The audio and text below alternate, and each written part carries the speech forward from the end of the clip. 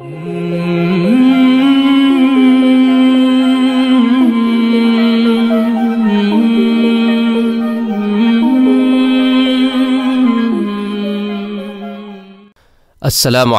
वरहमल वबरक आज बात करते हैं उमवी खलीफ़ा सुलेमान बिन अब्दुल मलिक से मुतक़ एक वाक़े की, कि जब ये खलीफ़ा बना तो मदीना शहर में दाखिल हुआ और दाखिल होने के बाद उसने लोगों से पूछा कि मुझे बताओ कि क्या मदीने में कोई ऐसा शख्स है जिसने रसूल अकरम सल्लल्लाहु अलैहि वसल्लम के सहाबा में से किसी को देखा हो? तो लोगों ने कहा कि ऐसे शख्स तो अबू हाजिम हैं। सुलेमान ने इनको बुलाने के लिए आदमी भेजा। जब वो आए तो सुलेमान ने इनसे पूछा, या अबू हाजिम ए अबू हाजिम, क्या वजह है कि हम मौत से डरने लगे हैं? हज़रत अबू हाजिम ने जवाब दिया, इसलिए कि तुमने अपनी आखिरत को बर्बाद कर लिया है और अपनी दुनिया को आबाद कर लिया है। इसलिए अब तुम्हें यह बात पसंद नहीं होती कि तुम आबादी से बर्बादी की तरफ़ जाओ। फिर सुलेमान ने इनसे पूछा, अल्लाह ताला के सामने हाजिरी किस तरह होगी? हज़रत अबू हाजिम ने जवाब दिया, नेक आदमी इस तरह हाजिर होगा जैसे कोई बिछड़ा हुआ आदमी मुद्दत के बाद अपने घर वालों के पास आता है। और बदकार आदमी इस तरह हाजिर होगा जैसे कोई भागा हुआ गुलाम अपने आका के पास पहुँचता है। ये सुनकर सुलेमान बिन अब्दुल मलिक रोने लगा और बोला ए काश मैं जानता कि अल्लाह ताला के यहाँ क्या चीज़ हमारी पूंजी बन सकती है। हज़रत अबू हाजिम ने कहा कि अपने अमल को अल्लाह की किताब के मुताबिक ढालो। सुलेमान ने पूछा कि कुरान पाक में ये बात किस जगह मिलेगी कि जिसमें जहन्नुम और जन्नत के मुस्तहक होने के अमल का बयान हो? हज़रत अबू हाजिम ने कहा, अल्लाह ताला का ये फ़रमान जो सूर इनफ़ार में मौजूद है कि नईम व जहीम। कि नेक लोग बेशक आसाइश में होंगे और बदकार यानी काफिर लोग बेशक दोजख में होंगे। फिर सुलेमान ने पूछा कि अल्लाह ताला की रहमत कहाँ होती है? हज़रत अबू हाजिम ने कहा, नेक काम करने वालों के करीब होती है। फिर सुलेमान ने सवाल किया कि कौन से बंदे अल्लाह ताला के नज़दीक मुआज़ और शरीफ होते हैं? हज़रत अबू हाजिम ने कहा कि वो लोग जो मुरवत वाले और नरम दिल होते हैं। अल्लाह अकबर अल्लाह अकबर।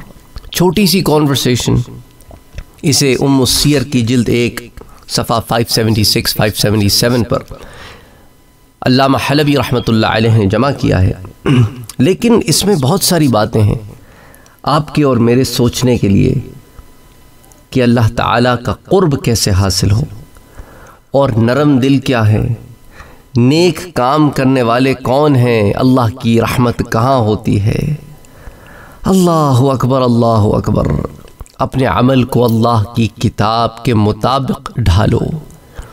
बहुत सारी बातें हैं। अगर आप गौर करें, एक दफ़ा फिर सुनिएगा और इन मैसेजेस को शेयर करें ताकि ज़्यादा से ज़्यादा लोग इससे मुस्तफ़ हो सकें और ये सदक़ा जारिया है।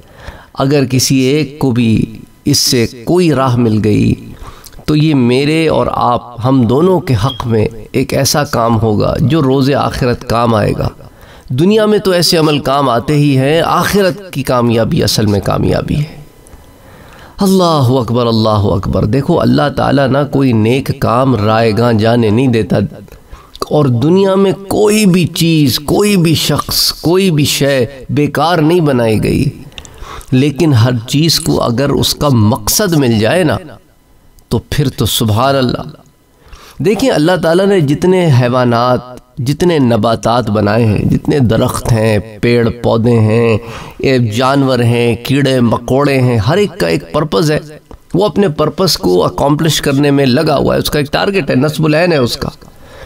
इंसान जब दुनिया में आता है तो उसका भी एक नस्बुलैन है। लेकिन वो क्या होता है कि दुनिया की रानाइयों में खोकर उस नस्बुलैन से इधर उधर निकल जाता है। तो फोकस करें फोकस करें कि हमारा टारगेट क्या है? अल्लाह की रज़ा। उसको राज़ी करने के लिए काम करते रहें और उसमें नेकी का रास्ता इख्तियार करें, अमर बिल मारूफ करें और नहीं अनिल मुनकर करें कि अच्छाई की तरगीब दें और गुनाहों से ख़ुद भी बचें और दूसरों को भी बचाएँ और नेकी के रास्ते पर खुद भी लगें, दूसरों को भी लगाएँ। तो अल्लाह ताला से यही मेरी दुआ है कि अल्लाह ताला हमें हिदायत दे और हमें हिदायत पे रख, हमारे ईमान मज़बूत रख, हमें साबित कदम रख। हमें दुनिया की इन रानाइयों से, रंगीनियों से बचा। तो आपसे मेरी यही दरख्वास्त है कि इस मेहनत को आगे फैलाने में मेरी मदद करें। अपना और अपनों का बहुत ख्याल रखें, नमाज़ की पाबंदी करें, कुरान करीम की तिलावत करें। असलकम वरहमल वर्का अगर आपने अभी तक हमारे चैनल को सब्सक्राइब नहीं किया है तो सब्सक्राइब का बटन दबाएँ, बेल के आइकॉन को प्रेस करें, ताकि आपको रेगुलर नोटिफिकेशन अपडेट्स मिल सके और आप हमें हमारे लाइव सेशंस में भी ज्वाइन कर सकें। वीडियो पसंद आने की सूरत में लाइक शेयर और कमेंट करना ना भूलें।